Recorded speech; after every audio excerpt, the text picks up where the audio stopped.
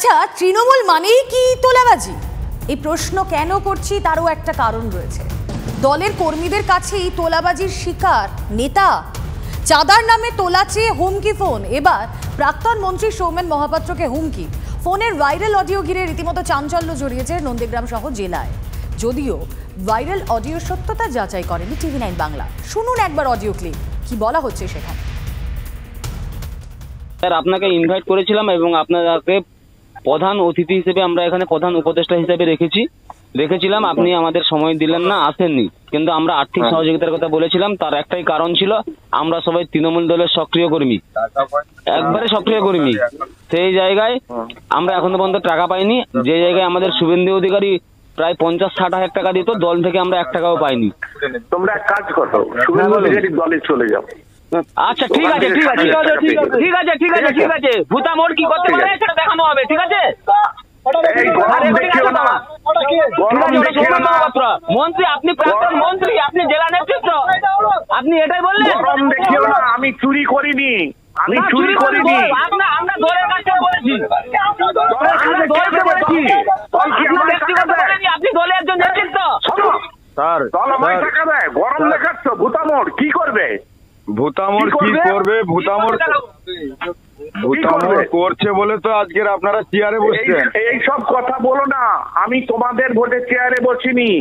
আমার পাশে থাকতে হবে না। তুমি ওখানে দায়িত্বে কুনাল বাবু আছে তার সঙ্গে কথা বলো। আমার আমি বলছি। স্যার, বলি শুনুন আপনাকে বিতর্ক করছি না। দেখুন ছেলেদের একটা খুব বিক্ষোভ থাকতে পারে। অনেক বাজে কথা বলছে। ওখানে কে? ওই জানোয়ার ছেলেটা কে? আচ্ছা, স্যার। করছে? বলছি শুনুন স্যার বলছি শুনুন। যে ওটাকে নিয়ে করবেন না হবে না।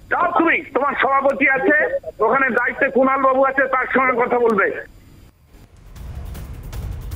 আমরা যে অডিও ক্লিপ শোনালাম, আপনাদের টিভি নাইন বাংলা তার সত্যতা যাচাই করেনি। কিন্তু এই অডিও ক্লিপের প্রত্যেকটা শব্দ, প্রত্যেকটা বাক্য যদি সত্যি হয়, তাহলে বুঝতেই পারছেন যে এই তোলা বাজিটা ঠিক কোন লেভেলে পৌঁছেছে। আমরা কথা বলব আমাদের প্রতিনিধি কনিষ্ক রয়েছেন সঙ্গে। কনিষ্ক অডিও ক্লিপের সত্যতা আমরা যাচাই করিনি, ঠিকই। কিন্তু সৌমেন মহাপাত্র, রাজ্যের মন্ত্রী, তাকে কিনা একদল তারা হুমকি দিচ্ছে, তাও আবার তোলাচ্ছে?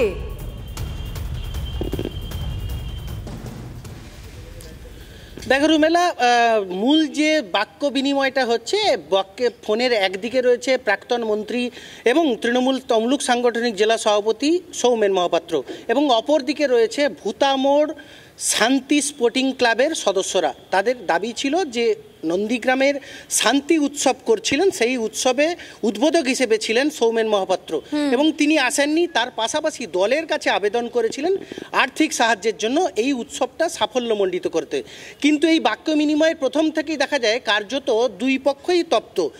যে আয়োজক কমিটি তারা কিন্তু দাবি করলেন যে ভূতামোড় কি করতে পারে সেটা দেখাবো। তোমাকে একটা ছোট্ট জিনিস স্মরণ করিয়ে রাখি। নন্দীগ্রাম যে ভূমি আন্দোলন হয়েছিল এই ভূতার মোড় থেকেই কিন্তু গন্ডগোলের সূত্রপাতটা হয়েছিল।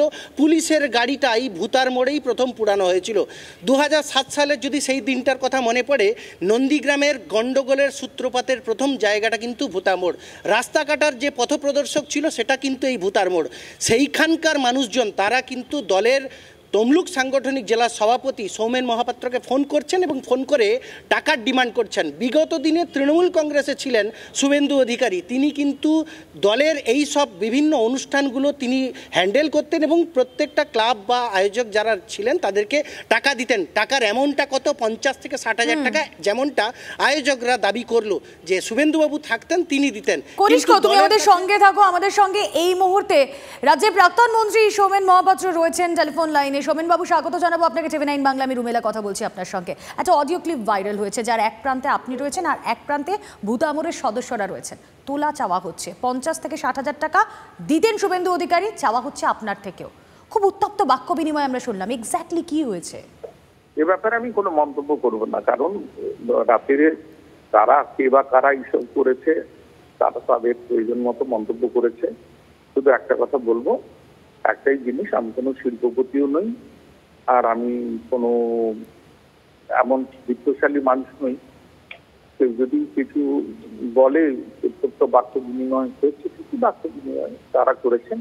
এ ব্যাপারে আর আমার কোনো মন্তব্য নেই যা করেছেন তারা বুঝবেন কে বা কার তাও আমি জানি না। শোভনবাবু আপনি রাজ্যের প্রাক্তন মন্ত্রী আপনার কাছে আপনারই দলের কেউ কেউ এভাবে ফোন করে টাকা চাইছে চাঁদা চাইছে? দেখুন আমার দলের দিন আমি বলতে পারব না আচ্ছা। আমার দলের দিন আমি বলতে পারব না। তারা অন্য কোনো রাজনৈতিক দলের ওখানকার তা বলতে পারব না তাও আমি বলতে পারব না আমি স্থানীয় নেতৃত্বদের বলেছি তারা খোঁজ খবর নিয়ে দেখছে বেশ অনেক ধন্যবাদ আপনাকে। আমরা কথা বলছিলাম সোমেন মহাপাত্র রাজ্যের প্রাক্তন মন্ত্রী ছিলেন আমাদের সঙ্গে যার সঙ্গে উত্তপ্ত বাক্য বিনিময়ে সেই অডিও ক্লিপ ইতিমধ্যে ভাইরাল হয়েছে যা আপনাদেরকে শোনালাম। এবং নন্দীগ্রামের বিজেপি নেতা প্রলয় পাল কি বলছেন? এই অডিও ক্লিপ ভাইরাল হওয়ার পর যার সত্যতা কিন্তু যাচাই করেনি টিভি নাইন বাংলা? একবার শুনুন। সৌমেন বাবুকে দেখেছেন উচিত ছিল সৌমেন বাবু এই উত- উত্তক্ত বাক্য বিনিময় না করে উচিত ছিল তাদের কাছ- পাশে দাঁড়ানো যতটুকু পারে। সাহায্য করা ওইসব কথা না বলে শুভেন্দুবাবু বরাবরই এটা করে থাকেন এখনও করেন। এবং কোনো রাজনৈতিক দল না দেখেই করেন। শুভেন্দুবাবু যেভাবে রাজনীতি করে যেভাবে মানুষের সঙ্গে থাকে জনতার সঙ্গে থাকে তৃণমূলের একটা কোনো নেতা নেই যে যারা নিজের স্বার্থ ছাড়া জনগণের স্বার্থে বা জনগণকে ভালোবেসে কিছু করেছে।